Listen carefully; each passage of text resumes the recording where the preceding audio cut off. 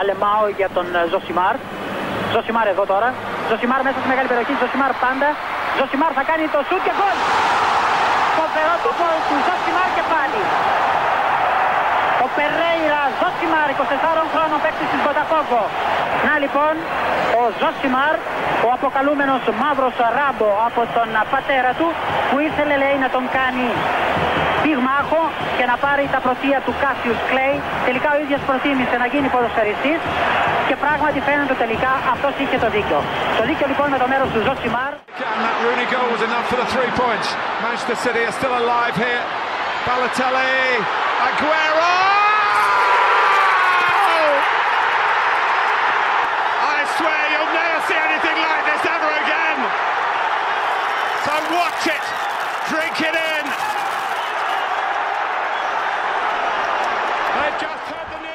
Αυτή η ασύλληπτη περιγραφή του Μάρτιν Τάιλερ, αυτή goals in added time. η αξέχαστη στιγμή του παγκόσμιου ποδοσφαίρου, σίγουρα της Premier League, η στιγμή που οι λέξεις που χρησιμοποιήθηκαν στην περιγραφή ήταν απολύτως, μα απολύτως ακριβείς. Ο Τάιλερ μετά το διάσημο, μακρόσιτο, αγουέρο, το οποίο μετατρέπεται σε αλφα, πώς τα κάνει στα νήσι, σε αγαπάει όπως εγώ, α, σε πονάει όπως εγώ, α. Είναι το αγουέρο, α, είναι, γίνεται αλφα στο τέλος. Και μετά υπάρχει το περίφημο ορκίζομαι ότι δεν έχετε ξαναδεί ποτέ στη ζωή σας κάτι τέτοιο. So watch it. Drink it in. Κανένα δεν είχε δει κάτι τέτοιο ποτέ. Κανένα δεν ξέρει πότε θα το ξαναζήσουμε. Αυτό που σίγουρα ξέρουμε είναι ότι δεν γίνεται να ακούσεις το όνομα του Αγουέρο, δεν γίνεται να το συζητήσεις, δεν γίνεται να τον σκεφτείς, δεν γίνεται να τον δεις να παίζει και να μην σκεφτείς τη συγκεκριμένη στιγμή. Είναι από τις στιγμές του ποδοσφαίρου που ανήκουν στην κατηγορία θυμάμαι που ήμουν και τι έκανα. Ανήκουν σε αυτή την κατηγορία. Δεν ξέρω, δηλαδή μου φαίνεται περίεργο κάποιος ε, να έχει δει αυτό το γκολ και να μην θυμάται ακριβώς που ήταν και, τι, και τι έκανε στις 13 Μαΐου του 2012. Είναι από τη μία το σπάνιο του πράγματος ε, το να κρίνεται ένα πρωτάθλημα στην τελευταία αγωνιστική μεταξύ δύο ομάδων. Δεν συμβαίνει συχνά. Απ' την άλλη είναι και το η μία από τις δύο ομάδες να είναι η Manchester United και η άλλη ομάδα να είναι η Manchester City. Ε, το απόλυτο καθεστώς του ποδοσφαίρου και οι θορυβώδεις γείτονες όπως τους είχε πει στην περίφημη ρίση του ο Ferguson.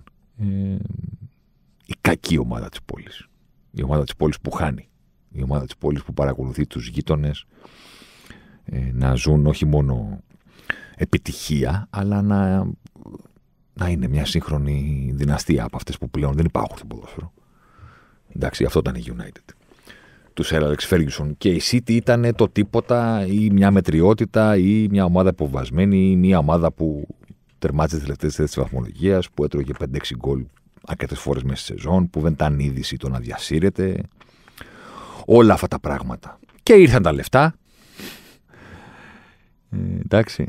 Και ήρθε η χρυσή εποχή και ήρθε η περίοδος που οι θορυβώδεις γείτονες δεν έκαναν μόνο θόρυβο, αλλά αποφάσισαν να χτίσουν και να φτιάξουν ένα σπίτι καλύτερο από το λαμπερό σπίτι της United. Και όλα αυτά κατέληξαν, πήρε κύπελα η City, άξε τις νίκες στα derby, μπλα μπλα μπλα, όλα αυτά κατέληξαν στις 13 Μαΐου του 12. Η City ήθελε νίκη για να το πάρει και αντιμετώπιζε την QPR, η οποία ήθελε βαθμό ή βαθμούς για να σωθεί. Δεν είναι ότι ο Αγουέρο έβαλε τον γκολ που έδωσε στη City το πρώτο πρωτάθλημα μετά από 350.000 χρόνια και το έκανε και στις καθυστερήσεις. Είναι η μισή ιστορία αυτή. Για να πει κάποιος ολόκληρη την ιστορία, θα πρέπει να σκεφτεί το εξής. Γιατί έχω κάνει αυτή τη συζήτηση με φίλους μου. Και κάποια στιγμή υπόθηκε η κουβέντα. Ε, okay, είναι το μεγαλύτερο γκολ που έχουμε δει ποτέ. Όχι σε ομορφιά. Είναι το, είναι το μεγαλύτερο γκολ που έχουμε δει ποτέ. Και υπάρχει κουβέντα, μα τι λες, ξέρεις. Έχει μπει αυτό, έχει μπει εκείνο, έχει μπει το άλλο. Και στο φινάλε υπάρχει γκολ το οποίο να είναι μεγαλύτερο από το γκολ που το δίνει στη χώρα στο παγκόσμιο κύπελο. Δηλαδή, υπάρχει μεγαλύτερο γκολ από αυτό που βάζει στον τελικό του παγκόσμιου κυπέλου. Δεν μπορείς να διαφωνήσεις με αυτό. Όμως, όμως, υπάρχει κάτι που μας διαφεύγει στην ιστορία. Όταν ο Ινιέστα ή όλη η Ινιέστα του κόσμου βλέπουν τη ζωή να, μπροστά, να περνάει μπροστά τα μάτια τους την ώρα που ετοιμάζονται να χτυπήσουν την μπάλα και να τη στείλουν στα δίχτυα ή ο Γκέτσε ή δεν ξέρω κι εγώ ποιος και να δώσω στη χώρα τους στο παγκόσμιο κύπελο κάτι που δεν είναι απλό να σου συμβεί στη ζωή. Να είσαι αυτός που θα βάλει τον γκολ, που θα κρίνει τον τελικό του Μουντιάλ. Εκείνη τη στιγμή, ακριβώς εκείνη τη στιγμή που εκτελούν, δεν είναι χαμένοι. Δεν βρίσκονται στην κόλαση. Ναι, ψάχνουν μια ευκαιρία στον παράδεισο να πάνε. Να περάσουν στην αθανασία. Στο επόμενο δευτερόλεπτο θα κρυθεί το αν θα μείνουν αθάνατοι στους αιώνες των αιώνων να μείνουν ή όχι. Ναι, Όμως εκείνη τη στιγμή δεν βρίσκονται στην κόλαση. Είναι 0-0. Είναι 1-1. Είναι 2-2 όταν φεύγει ο Μπουρουσάγκα απέναντι στο Σουμάχερα από την παλιά του Μαραντόνα για να το βάλει και να ολοκληρωθεί ο μύθος του Μαραντόνα το 1986. Ο Μπρέμε παίρνει φόρα το 90, είναι 0-0. Δεν βρίσκεται στην κόλαση η Γερμανία την ώρα που παίρνει φόρα να εκτελέσει το πέναλτι. Δεν είναι στην κόλαση η Ισπανία την ώρα που η Νιέστα υποδέχεται την μπάλα, τη στρώνει και ετοιμάζεται να εκτελέσει. Λέγοντα τα όλα αυτά, δεν θέλω να πω ότι αυτό που έκαναν είναι εύκολο. ή ότι εκείνη τη στιγμή δεν είχαν βάρος στους ώμους τους. Όμως δεν ήταν κατεστραμμένοι. Δεν ήταν διαλυμένοι. Στις 13 Μαου 2012, στο Etihad, βρέθηκαν όλοι οι οπαδοί της City που μπόρεσαν να εξασφαλίσουν την παρουσία τους εκεί για να γιορτάσουν το πρωτάθλημα, το πρώτο μετά από 355.000 χρόνια. Προηγήθηκαν ένα 0 στο ημίχρονο. Ζαμπαλέτα από προσπάθεια ατομική του Τουρέ. Στο 48 ισοφάρισε ο Σισε, ο Τζιμπρίλ. Και στο 66 έγινε 1-2. Αυτό που συνέβαινε στο Etihad από το 66 μέχρι το 94 δεν ήταν αγωνία όπως συμβαίνει όταν παρακολουθείς ένα μεγάλο τελικό. Ένα τελικό παγκόσμιο κυπέλο, προκειμένου, που το πήραμε σαν παράδειγμα. Ήταν η απόλυτη κόλαση. Όποιο παρακολούθησε ζωντανά αυτό το παιχνίδι, δεν μπορεί να με θυμάται ότι στις κερκίδες μιλάμε ότι οι άνθρωποι δεν μπορώ να. Τι λέξη να πω, πέθαιναν. Είναι βαριά λέξη να τη λες. Συνήθως λέμε άλλα πράγματα.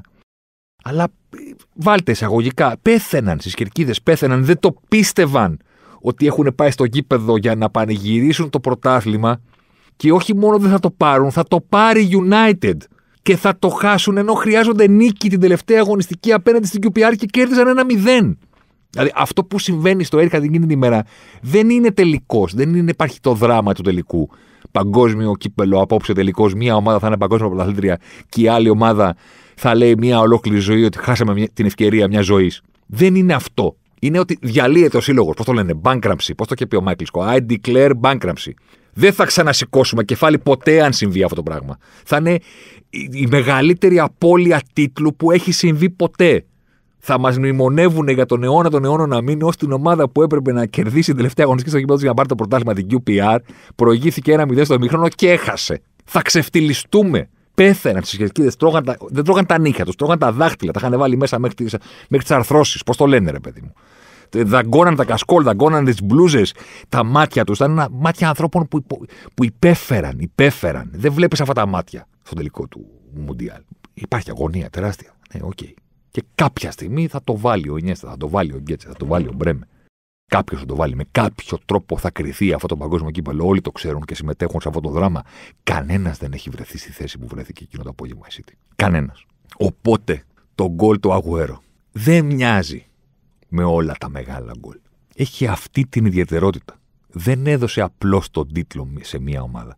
Ταυτόχρονα την ίδια στιγμή την έβγαλε από την κόλαση. Δεν είναι ότι σε έστειλε στον παράδεισο. Είναι ότι ήσουν στην κόλαση. Υπέφερε στο πιο βαθύ καζάνι, πώς το λένε, ρε παιδί μου. Τέρμα η φωτιά τέρμα. Συνέβαινε μέχρι το 1994 το μεγαλύτερο ποδοσφαιρικό φιάσκο που έχουμε δει. Πώς το λένε, Μαρακανάσο, έτσι το λέγανε οι Βραζιλιάνοι, το Κάζο που πάθανε το 50, που χάσανε το Μουντιάρ στην έδρα από την, από την Ουρουγουάη. Κέρδιζαν ένα 0 ημίχρονο και το πήρε ο Ουρουγουάη με ένα 2 και έκανε στη Βραζιλία και ισοπαλία, γιατί το παγκόσμιο κύπελο τότε ήταν σε όμιλο. Δηλαδή οι εφημερίδες είχαν βγει και είχαν πει ότι το βράδυ η Βραζιλία στρέφεται παγκόσμιο πρωταθλήτρια. Δεν περιμένανε το αποτέλεσμα του τελικού. Ο κόσμος πήγε στο γήπεδο για να γιορτάσει το, τον τίτλο έμεινε στην ιστορία το μεγαλύτερο κάζο όλων των εποχών. Βραζιλία, Ρουγουάη στο Μαρακανά είχε μισό εκατομμύριο κόσμο μέσα στο γήπεδο. Ένα μηδέν ημίχρονο, ένα-δύο τελικό. Και το παίρνανε με ισοπαλία. Ωραία. Φαντάζεστε την ώρα λοιπόν που εκτελήσετε αυτό το δράμα και η Βραζιλία χάνει το Μουντιάλ στο γήπεδό της, ένας άνθρωπος θα εσωφαρίσει στο 95. Τι θα συνέβαινε, δηλαδή δεν έχουμε εικόνες από τότε. Δυστυχώς αυτό το πράγμα δεν έχει περάσει στη μυθολογία του ποδοσφαίρου, μόνο τις περιγραφές. Δεν υπάρχουν βίντεο και τέτοια πράγματα. Α πούμε, ξέρουμε τις ιστορίες, εν πάση περιπτώσει, του θρηλυκού αρχηγού που πήρε την μπάλα μετά το 1-0 και έκανε ολόκληρη φασαρία, του Μπαρμπόσα, τον ορδοφύλακα που έμεινε στην ιστορία ως ο άνθρωπος που έκανε μια ολόκληρη χώρα να κλαίει. Όλα αυτά τα έχουν περάσει από στόμα σε στόμα, ρε παιδί μου. Είναι τα ομυρικά έπι. Ωραία. Όσο μπορούμε να φανταστούμε 200.000 βραδιλιάδε σε ένα γήπεδο να ζουν αυτή την ποδοσφαιρική τραγωδία, φανταστείτε λοιπόν το γκολ που όχι μόνο τους βγάζει από την τραγωδία του να χάνουν το Μουντιάλ στη χώρα τους, τους το δίνει κιόλας. Αυτό έκανε ο Αγουέρο εκείνη την ημέρα. Και ναι, για να είμαστε σωστοί, σωστοί στην αφήγηση, θα πρέπει να τα πούμε όλα. Ε, η QPR έκατσε να τα φάει τώρα, εντάξει, OK. Okay. Τελειώσαν τα υπόλοιπα παιχνίδια και η QPR δεν χρειαζόταν βαθμούς για να σωθεί. Και δεν το λέω για κακό. Γιατί φαντάζομαι ότι κάποιος θα τα ακούσει να πει: Ορίστε, ρίχνει λάσπη. Στο ποδόσφαιρο το κίνητρο πάντα επιβράβευε. Όσο έχεις κίνητρο, παίζεις. Άμα δεν έχεις κίνητρο, ε, είναι μεγαλύτερο το κίνητρο της City έληξαν τα άλλα παιχνίδια και πλέον η QPR δεν χρειαζόταν να αμυνθεί με τη ζωή της. Ωραία. Μείνανε λοιπόν στο γήπεδο 11 ποδοσφαιριστές που έπρεπε να βάλουν δύο γκολ στις καθυστερήσεις γιατί αλλιώς θα βίωναν τη μεγαλύτερη ποδοσφαιρική τραγωδία και 11 ποδοσφαιριστές που μόλις είχαν πετύχει το στόχο τους. Είχαν σωθεί. Ε, τα έβαλαν αυτοί που είχαν κίνητρο. Ε, τόσο απλά. Δεν είναι ούτε στημένο ούτε τίποτα από όλα αυτά. Όπως το κίνητρο της QPR έπαιξε ρόλο στο να της κόβει το πρωτάθλημα με την ανατροπή που έκανε με τα γκολ στο 48 και στο 66, ε, μετά το κίνητρο της QPR εξαφανίστηκε το γήπεδο. Παίζανε και με 10 από το 55. Ε, ωραία. Στο τέλος μέτρησε το κίνητρο των άλλων. Δεν το λέω για να μειώσω κάτι. Συμβαίνει. Δεν με ενοχλεί στο ποδόσφαιρο που λένε ε, τους αφήσανε, ήταν στημένο. Δεν ήταν στημένο. Δηλαδή είσαι σε μια διασταύρωση. Πώς το λένε, ρε παιδί μου, και εσύ βιάζεσαι να πας στο μευτήριο και ο άλλος ε, ε, πηγαίνει για να πιει ένα καφέ. Θα περάσεις πρώτος. Πώς το λένε. Δεν θα περάσεις πρώτος. Με κοιτάς, τι με κοιτάς. Δεν παίζει ρόλο το κινητρό μου εκείνη τη στιγμή. Θα περάσει ο άλλος, δεν θα περάσω εγώ. Ε, εντάξει, συμβαίνει και στον αθλητισμό. Το κίνητρο δεν έπαιξε ρόλο και το κάνανε από ένα 0-1-2. Έπαιξε. Ωραία. Μετά το, το κίνητρο εξαφανίστηκε. Τι θέλουν τώρα. Με ενοχλεί και τα ακούω από φίλους του United. Λέει είχαν σωθεί και το αφήσανε και κάνανε. Εντάξει, ρε φίλε. Εντάξει. Δεν μαζευτήκαμε εδώ για να συζητήσουμε όλο εκείνο το πρωτάθλημα, το ιστορικό. Αλλά η ποδοσφαιρική είδηση της εβδομάδας μέχρι την Τετάρτη ήταν το γεγονός ότι τελικά επιβεβαιώθηκαν όσα διαβάζαμε. Το πρόβλημα που αντιμετώπισε ο Αγουέρο πριν από μερικό διάστημα ήταν τόσο σοβαρό στην καρδιά του που ήταν αναγκαστικό για εκείνον, αφού πάρει μερικές εβδομάδες και μερικές μέρες για να το σκεφτεί και να το συνειδητοποιήσει, να ανακοινώσει ότι σταματάει το ποδόσφαιρο οριστικά και μετάκλητα, στεναχωρημένος που πρέπει να το κάνει έτσι, στα 33, από την άλλη ευγνώμων που αυτό το πρόβλημα του παρουσιάστηκε νωρίτερα. Στην καριέρα του, που δεν είχε κάποια χτυπά ξύλο, ε, σοβαρότερη εξέλιξη όσο ήταν πιο νέος και αγωνιζόταν. Σταματάει στα 33. Ο Κουν Αγουέρο, το Κουν ήταν παρατσούκλι από ένα καρτούν του είχε κολλήσει. Ε, δεν είναι στο όνομά του δηλαδή. Σέρχιο Λεωνέλα Αγουέρο Ντελ Καστίγιο. Εντάξει. Ε, αυτό είναι το πλήρες όνομα του Αργεντινού που ξαναλέω για οποιονδήποτε άλλο ποδοσφαιριστή είναι δύσκολο να βρεις κάποιον συνήθως αυτοί που έχουν χαρακτηριστεί από ένα γκολ στην καριέρα τους είναι αυτοί που δεν έχουν βάλει και πολλά. Δηλαδή, επειδή κάποιος δεν είναι μεγάλος σκόρερ, ας πούμε, ή δεν είναι η δουλειά του, να, βάλει, να βάζει γκολ, ε, όταν λέμε τον γκολ του Ινιέστα, ορίστε, βρήκα το παράδειγμα, ε, κάπως θα πει ποιο εννοείς. Με την Chelsea στο ημιτελικό Champions League ή με την Ολλανδία στο τελικό του Μουντιάλ; Δύο είναι. Όταν λες τον γκολ του Ινιέστα, δεν λέω ότι έχει βάλει δύο στην καριέρα του, αλλά είναι σπάνιο. Είναι σπάνιο κάποιος να είναι φορ, killer, γκολτζή και όταν λες το γκολ του Αγουέρο, να λένε όλοι, Α, ναι, OK. Okay. Το γκολ του Φαν Μπάστεν. Ορίστε ένα παράδειγμα. Και αυτός, ένα τσουβάλι γκολ. Αλλά το γκολ του Φαν Μπάστεν είναι το γκολ του Φαν Μπάστεν. Ένα είναι. Ένα είναι. Δεν είναι συνηθισμένο. Ορίστε, βρήκαμε το Φαν Μπάστεν. Μπορεί εσείς να βρείτε κανέναν άλλο να μου το στείλετε στα σχόλια, στο, στο Instagram, ξέρω εγώ πού, στο Twitter. Δεν γίνεται να το συζητήσεις και να μην σκεφτείς εκείνο το γκολ. Επίσης δεν γίνεται να το συζητήσεις τον Αγουέρο και να μην τον βάλεις στα πρώτα ονόματα της λίστας των παικτών που ε, αδικήθηκαν, ισοπεδώθηκαν, παραγωνίστηκαν γιατί έπαιζαν ποδόσφαιρο ταυτόχρονα με το Μέση και με τον Κριστιανό Ρονάλντο. Είναι αρκετοί αυτοί. Ο Αγουέρο είναι ένας από αυτούς ένας από αυτούς που λέγαμε παιχταράς, παιχταράς, δεν νομίζω ότι υποτιμήθηκε, αλλά από την άλλη Τώρα που τελείωσε η καριέρα του, ρε παιδί μου, δεν λες ότι κάποια στιγμή όταν έβλεπα ποδόσφαιρο θεωρούσα ότι ο Αγουέρο είναι μέσα στους τρεις καλύτερους παίκτες στον κόσμο. Υπήρχαν οι δύο, οπότε μετά οι υπόλοιπες θέσεις πήγαιναν στους υπολείπους που πετύχαιναν. Στους Ισπανούς, Τσάβι, Νιέστα, στο Μόντριτς, Νεϊμάρ, εμφανίστηκε κάποια στιγμή. Ο Αγουέρο συμπλήρωσε 10 χρόνια στην Premier League, κατέκτησε τα πάντα εντός συνόρων. Εκείνη τη χρονιά ήταν η πρώτη χρονιά του στην Αγγλία, με το ξεχνάμε αυτό. Είναι η πρώτη χρονιά στην Αγγλία και δίνει τον τίτλο την τελευταία αγωνιστική. Με αυτόν τον γκολ και έχει βάλει και 23 εκείνη τη σεζόν. Ο, ο Αγουέρο στην Premier League. Μόνο μία σεζόν έβαλε παραπάνω. Όχι δύο, συγγνώμη. Δύο. Έχει βάλει και 26 και έχει βάλει και 24. 10 χρόνια στην Premier League, αυτά τα 10 χρόνια μάλλον, ήταν ο κορυφαίος επιθετικός. Αλλά ήταν η εποχή ποδοσφαιρική που το να είσαι ο κορυφαίος επιθετικός στην Premier League, ας πούμε, σταθερά για μια δεκαετία σε μια ομάδα που έχει παίρνει πέντε πρωταθλήματα σε αυτό το διάστημα, δηλαδή ένα στα δύο το παίρνει εκείνη, δεν ήταν αρκετό για να σε βγάλει πολύ πολύ ψηλά στον αφρό. Δεν ξέρω κάποιον που να μην έτσι, εκτιμούσε τον αγωέρο ποδοσφαιρικά.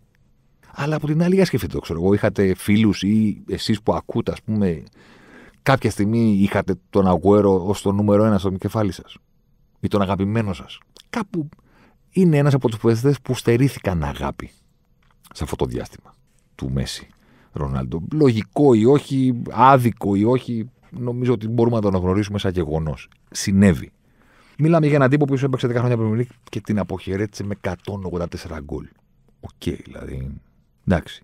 Του έλειψε η αλήθεια είναι, μιας ας πούμε και συζητάμε το, ξέρετε, το κομμάτι αυτό ε, της αναγνώρισης, ε, του έλειψε και το Champions League.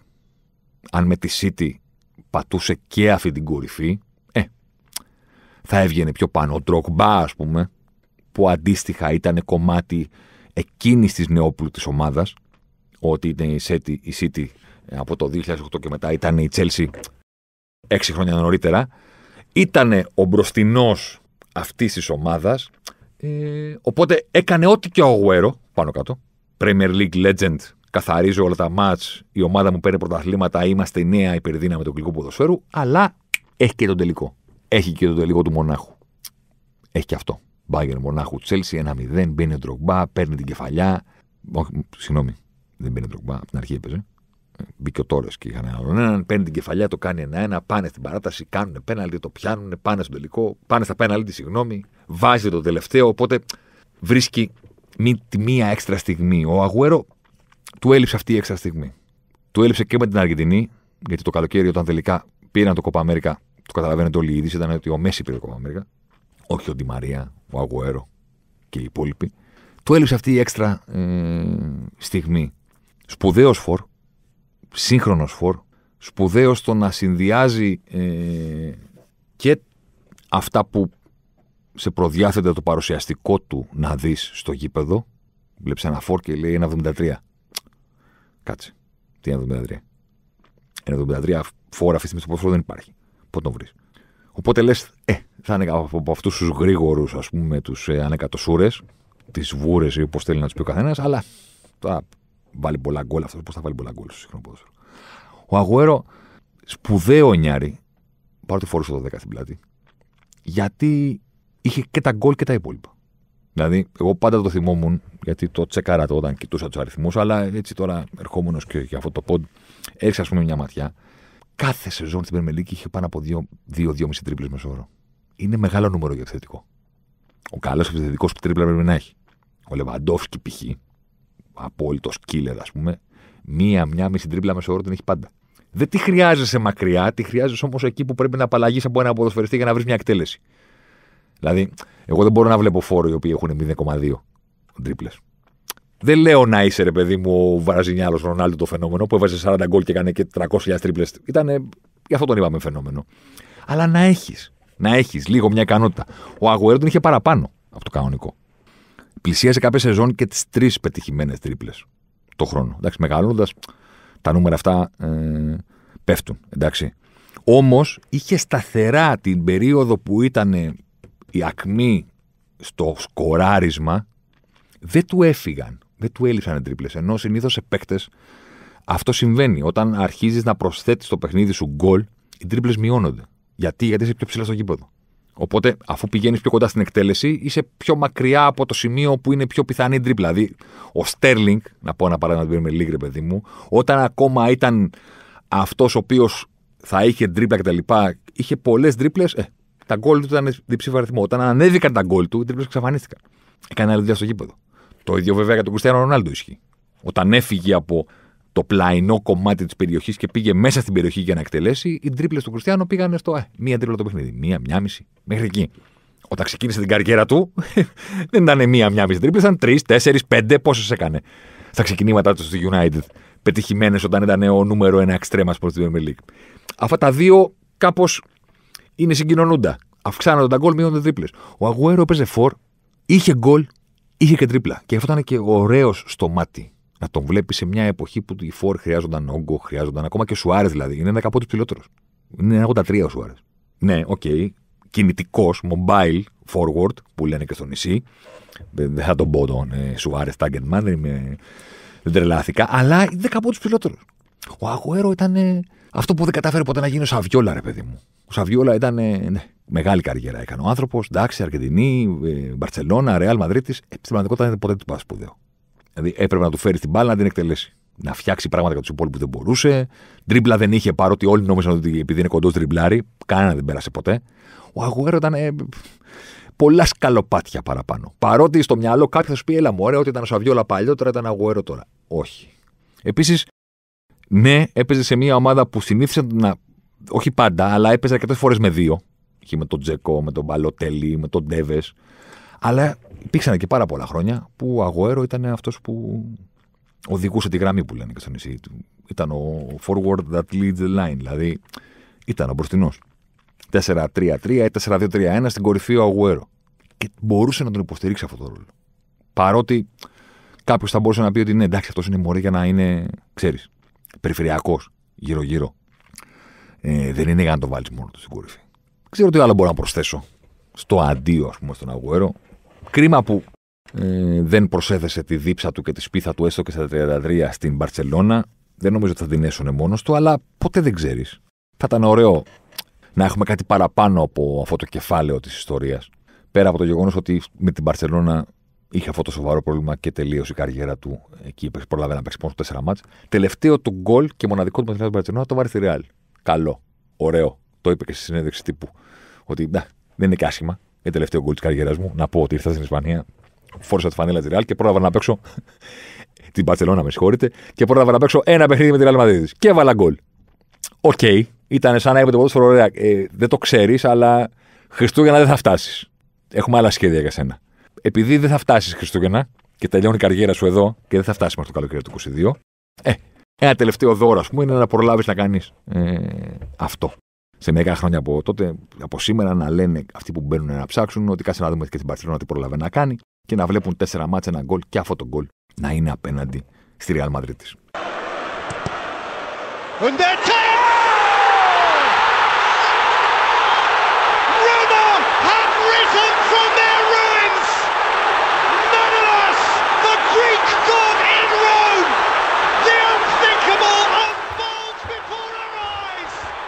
Το απίστευτο.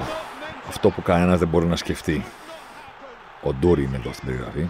Καλύτερος από τον Τάιλερ. Το γκολ το ξέρετε.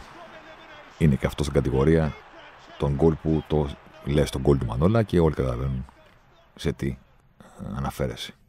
Η Ρώμη σηκώθηκε από τα έρηπια. Ο Έλληνας Θεός της Ρώμης κτλ. κτλ, κτλ. Οι τεντωμένες παλάμες στα γουρλωμένα μάτια του Μανολά που τρέχει προς το κέντρο του Ολυμπικό και για να χρησιμοποιήσουμε και το αγαπημένο κλεισέ, μιας και είπαμε Ολύμπικο και ανεβαίνει στον Όλυμπο. Πάντα δεν θέλω να το πείτε αυτό. Εγώ πάντα ήθελα να το πω. Ήταν Απρίλιος 18, 10 Απριλίου, συγγνώμη, του 18, όταν έζησε ο Μανολάς τη δική του αξέχαστη στιγμή. Είναι και αυτό ένα γκολ που σε παίρνει από την κόλαση, αν και δεν είναι κόλαση το να αποκλείεσαι από την Παρσελόνα όταν έχεις χάσει 4-1 το προηγούμενο παιχνίδι αλλά είναι και ένα από αυτά τα γκολ τα οποία δεν θα δούμε πλέον στο ποδόσφαιρο, γιατί καταργήθηκε ο κανονισμό του εκδοτή γκολ. Έχουμε κάνει podcast. Πήγαινε να τα ακούσετε, να καταλάβετε γιατί δεν έπρεπε να το καταργήσουν. Γιατί αφαιρείται αυτό το γκολ. Αν καταργήσεις το εκτό γκολ, με τον γκολ του Μανόλα δεν αλλάζει χέρια η πρόκριση. Δεν αλλάζει χέρια η πρόκριση. Χωρίς το εκτό γκολ δεν γίνεται με ένα γκολ από εκεί που προκρινόταν η Α ομάδα να προκριθεί η Β. Ή επανέρχεσαι σε κατάσταση ισορροπίας με το ένα γκολ, ή φεύγεις από την ισορροπία. Δεν πηγαίνεις από το περνάει ο ένας στο περνάει ο άλλος. Στο περνάει ο ένας, περνάει ο άλλος. Ήρθε αυτή η κεφαλιά του Μανολά στο 82-83, πότε ήταν από το κόρνερ του Ιντερ, Ιντερ του Τούρκου να ολοκληρώσει κάτι που εκείνη τη στιγμή ήταν ασύλληπτο. Το να έχει κερδίσει η Μπαρσελόνα 4-1 το πρώτο παιχνίδι και να αποκλειστεί από τη Ρώμα με 3-0 στον επαναληπτικό. Ο Μανολά έβαλε το όνομά του στην Αθανασία και της ίδιας της Ρώμης και της ομάδας που λατρεύεται σε μια περιοχή που λατρεύεται με έναν τρόπο που μοιάζει ελληνικός. Όλη τη μέρα ραδιόφωνα, κόντρα με τη Λάτσιο, τηλεφωνήματα, αυτά τέτοια. Λίγο ελληνική παράνοια έχουν οι Ρωμαίοι για τις ομάδες τους, η αλήθεια είναι. Ή εν πάση περιπτώσει έτσι καταλαβαίνω, έτσι γνωρίζω. Τώρα μπορεί να μην συμβαίνει έτσι. Τι να κάνουμε. Ε, τότε ήταν ασύλληπτο. Μετά ακολούθησαν και άλλες φαλιάρες για την Παρσελώνα. Ακολούθησε και αποκλεισμός από το Άνφιλ μετά από, μετά από 3-0, όχι 4-1, την, ε, την επόμενη σεζόν. Τότε όμως ήταν το πρώτο. Έμεινε στην ιστορία. Έβγαλε ο Βαλβέρδε, λέει τον Ινιέστα. Αυτά γίνανε πράγματα. Σε κάθε περίπτωση ο Μανολάς πέρασε στην ιστορία της Ρώμης, της Ρώμα και του Champions League με αυτή την ε, κεφαλιά. Η Ρώμα πήγε στους ημιτελικούς για πρώτη φορά από τότε που είχε παίξει τελικό, νομίζω.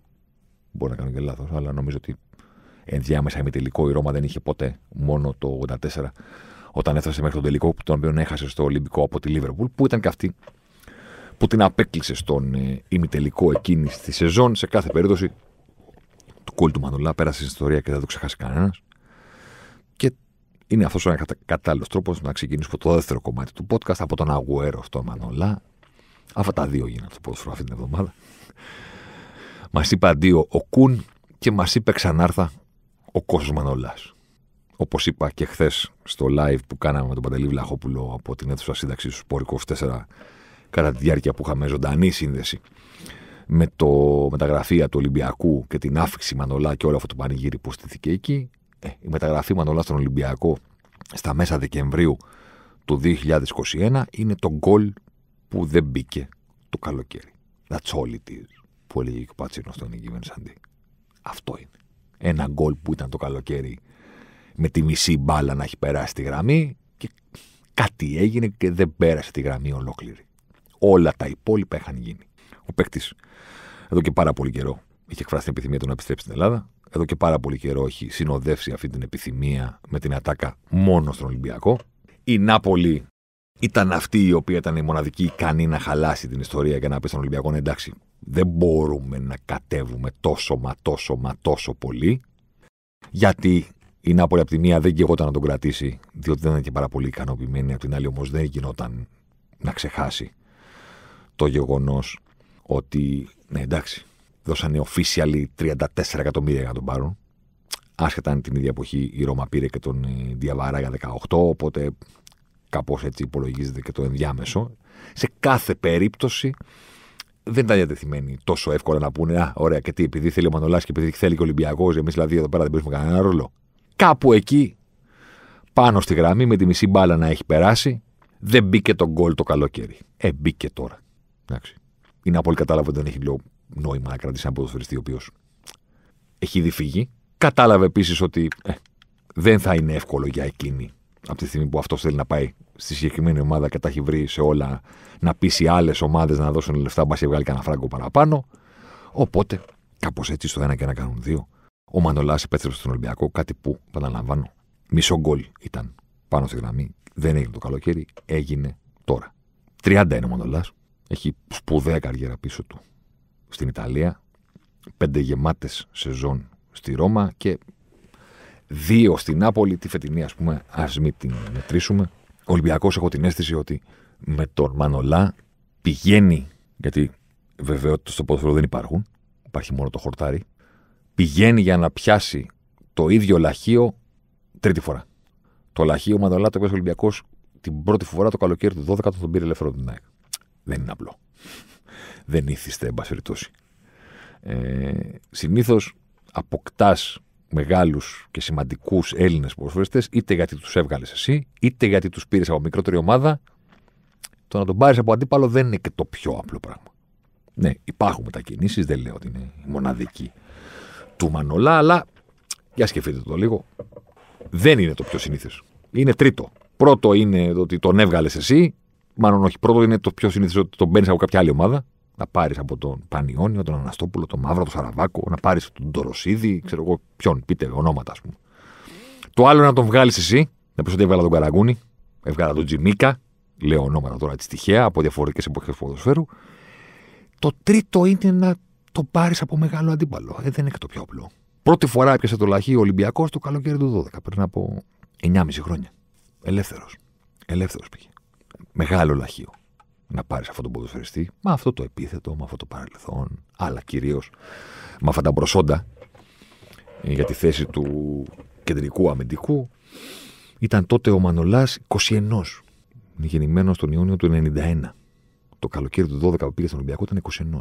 Μιλάμε τώρα έτοιμος. Έτοιμος για να ξεπεταχτεί εννοώ. Ούτε 19 να πεις ότι ακόμα, ακόμα πρέπει να τον περιμένουμε.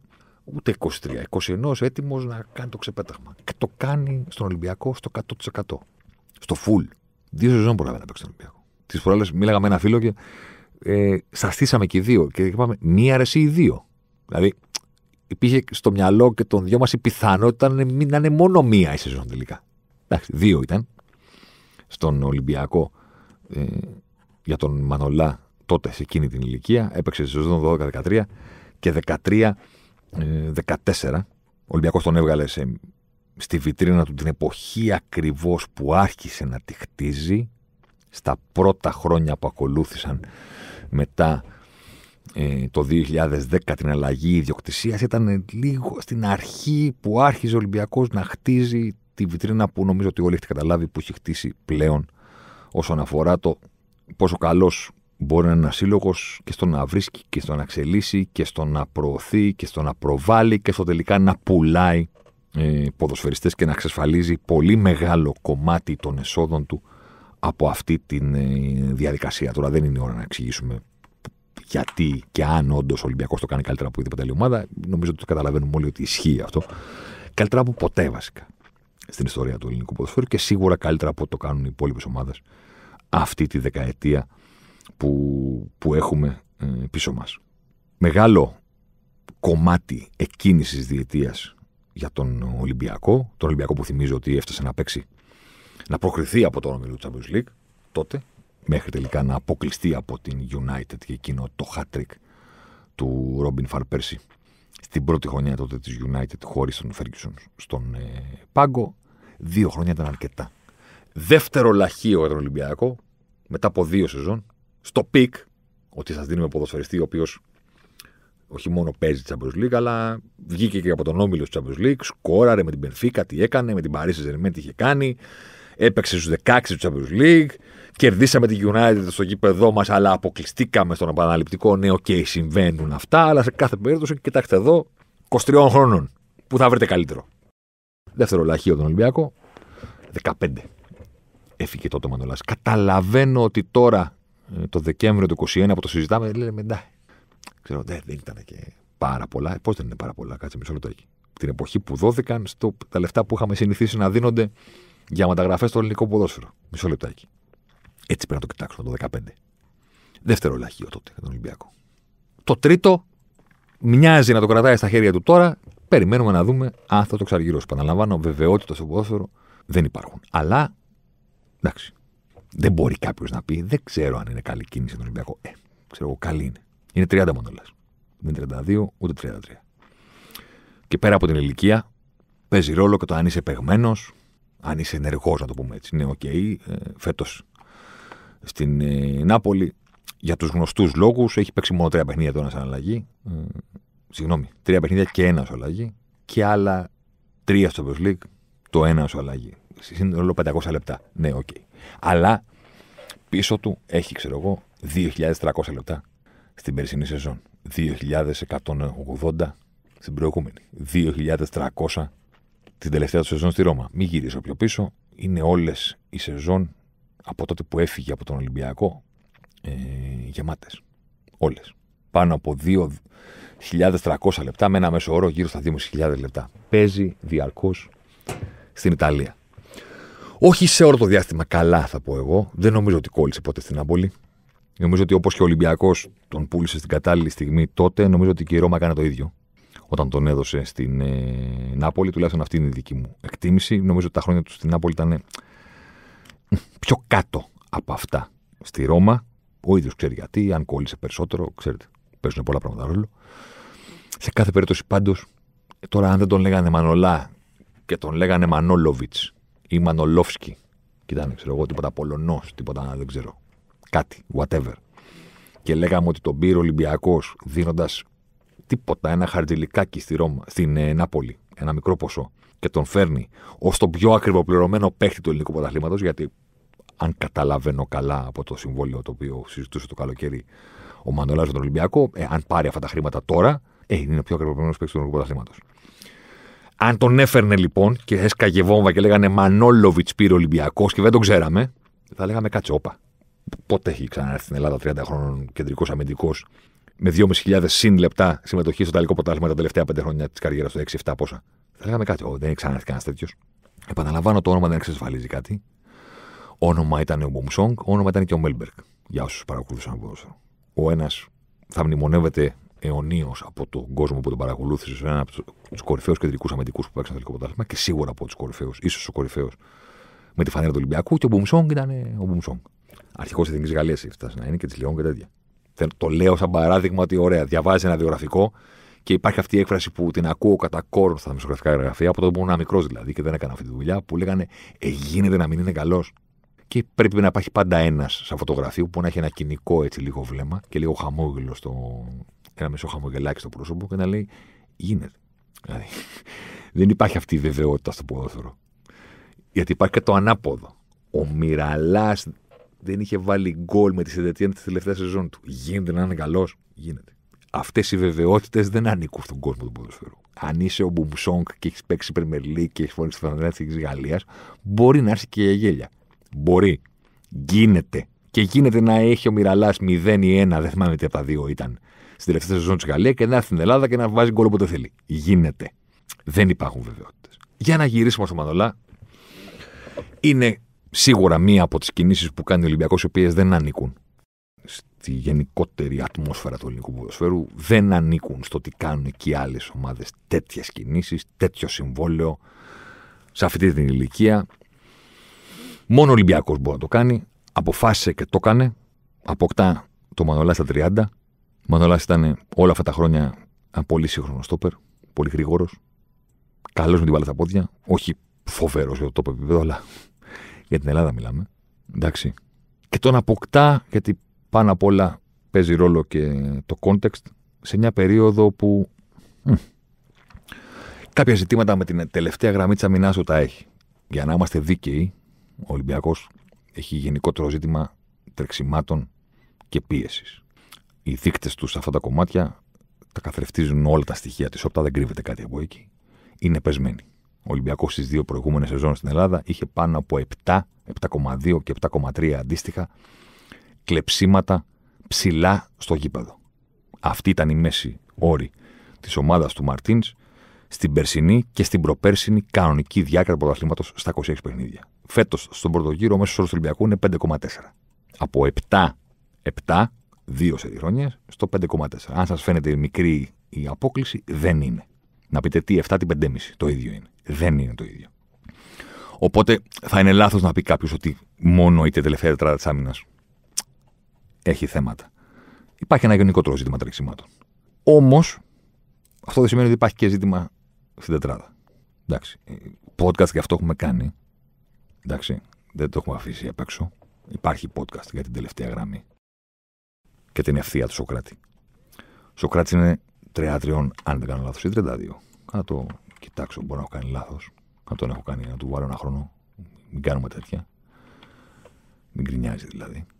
Άμα το πει κανένας, σε μεγάλος ένα χρόνο. Όχι, είναι 33. Και το καλοκαίρι που ο Μανολάς θα γίνει 31, ο Σοκράτη πέντε μέρες νωρίτερα γίνεται 34. Αφήστε τις ηλικίες.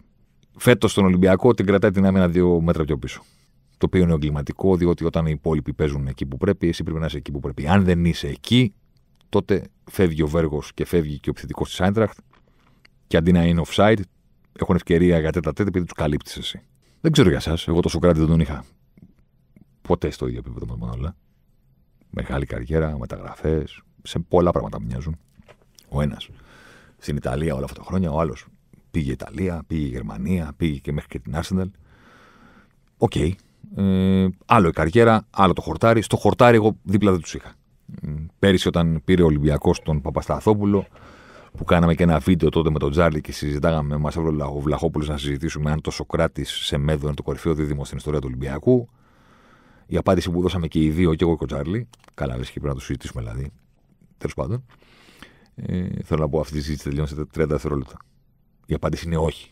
Πρώτον, ο Μέλμπερκ ήταν καλύτερος από το Σεμέδο. Δεύτερον, και ίσως και πιο σημαντικό για την κουβέντα που κάνουμε τώρα, ε, ο Αβραάμ ήταν καλύτερος από τον Σοκράτη.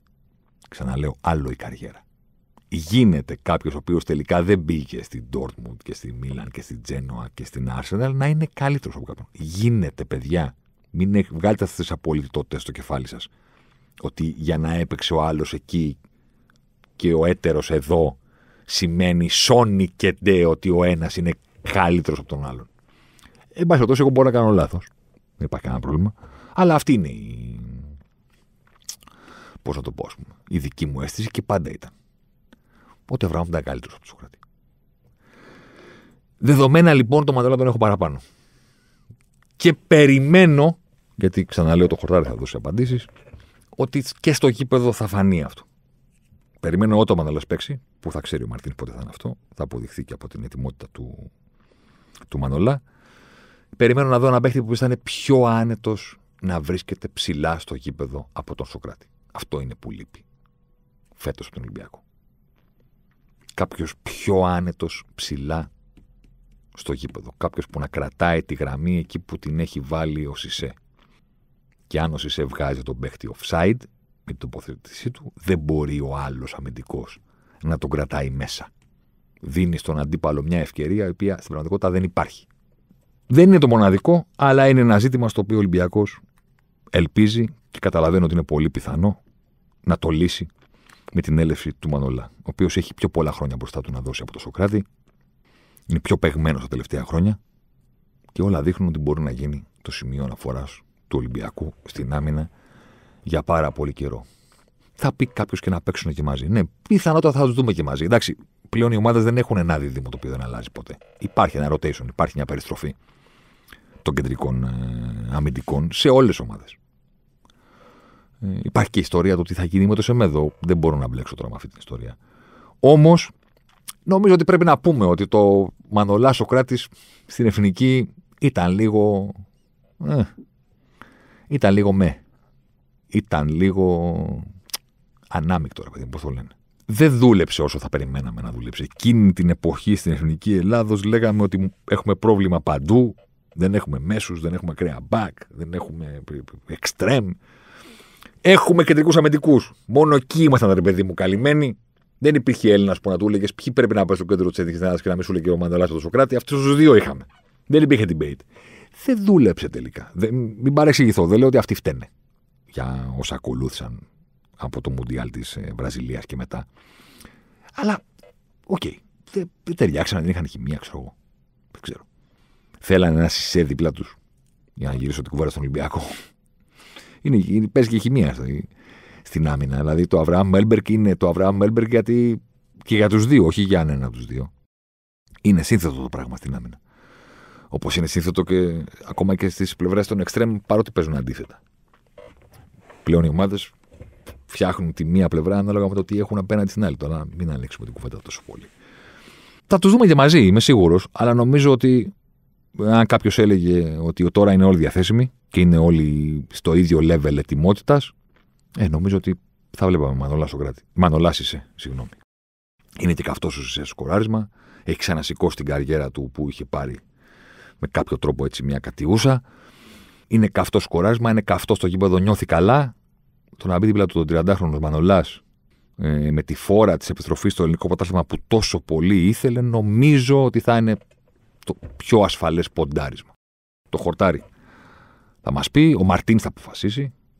Στο φινάλε, οι προπονητές έχουν και το δικό του τρόπο σκέψης. Μπορεί, μπορεί ο Μαρτίνς να πει ότι, OK, μέχρι να γίνουν κάποιες προπονήσεις και να αποκτήσουν όλη η χημεία με όλους και να τους δω και στο γήπεδο εγώ, θα παίξει ο Μανωλά με τον Σοκράτη γιατί αυτοί οι δύο έχουν παίξει μαζί στο παρελθόν. Ποιος θα του πει όχι. Θέλω να πω ότι είναι μια λογική σκέψη. Βασίζεται κάπου. Λες, Α, OK, okay, δεν το είχα σκεφτεί έτσι. Από το να παίξει ο Μανωλάς με το Σισέ κατευθείαν με τρεις προπονήσεις, λέω ένα παράδειγμα, ας πούμε, τυχαίο, δεν είναι καλύτερα να παίξει με τον Σοκράτη που γνωρίζονται, ίδια γλώσσα, έχουν παίξει τόσα παιχνίδια στην εθνική και μετά στην πορεία. Να αρχίσουμε να βάζουμε και το Σισέ στον κόλπο. Μπορεί να γίνει και έτσι. Ή μπορεί να γίνει το ασέρε που θα κόψουμε τη φορά του Σισέ. Δεν τον βλέπεις. Νίκες δίνει, κόβει, κάνει, δείχνει.